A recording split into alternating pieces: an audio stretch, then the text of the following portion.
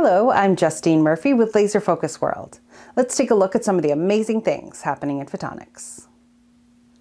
Generative AI is best known for text and image creating programs like ChatGPT, but its use is expanding now, offering a significant boost to image quality in biomedical and diagnostics applications. A team led by the Gorlitzer Center for Advanced Systems Understanding at Helmholtz Zentrum Dresden Rossendorf has designed an approach that uses a generative AI model to produce high quality images using just a standard microscope. And all it needs is a single RGB image, not a stack, as is required with conventional methods. The new approach can achieve computational quantitative phase imaging in a new way. It exploits chromatic aberration, an optical phenomenon that occurs when a lens can't focus all colors of light to the same point, resulting in low quality images. While typically an imaging challenge, the team has essentially turned it into an advantage, in part by bringing into the mix a conditional variational diffusion model they developed last year that greatly enhances images. The researchers are now developing computational microscopy techniques they say could be applied directly to real-world clinical applications, specifically diagnostics. Photonic chip accelerator PhotonDelta is joining forces with Silicon Catalyst, the world's only incubator and accelerator focused on the global semiconductor industry, to ultimately boost early-stage photonic startups.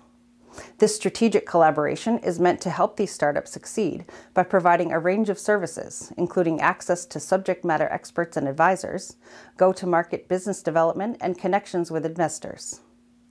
Elsewhere, EPIC, the European Photonics Industry Consortium, recently held its annual general meeting, which sees photonics and optics companies from around the world come together for strategic and other initiatives.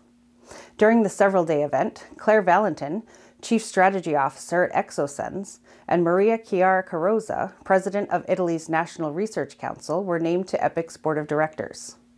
Representatives say the appointments should strengthen connections to high growth photonic sectors and help EPIC members navigate commercialization and business expansion.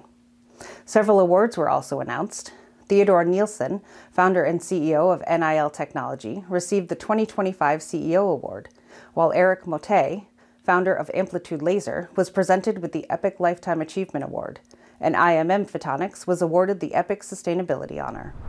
A more environmentally sustainable alternative to tuning the optical properties of perovskite quantum dots is on the horizon. Developed by a team at North Carolina State University, the new approach could have major implications for use in a variety of optoelectronics applications. Quantum dots, which are nanoscale crystals, feature band gaps, the energy difference between a bound electron and a free electron state. By tuning those band gaps, the researchers can now control the specific color of light the quantum dots can absorb and emit. The team's work involves a photo-induced anion exchange reaction approach that leverages light to trigger reactions within quantum dot solutions in halogen-containing solvents. Using light to drive the reaction requires less energy than conventional methods, and controlling the light's wavelength and intensity allows the researchers to more precisely alter the quantum dot's chemical environment and ultimately ensures consistent, high-quality materials.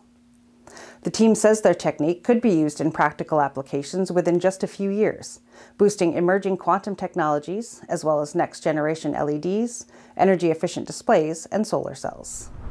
And that's your Photonics Hot List. Be sure to like and share, subscribe to our YouTube channel, follow us on social media, and visit laserfocusworld.com for the latest and coolest news and information. Check out our Following the Photons podcast too for some cool interviews and news impacting the industry. Until next time.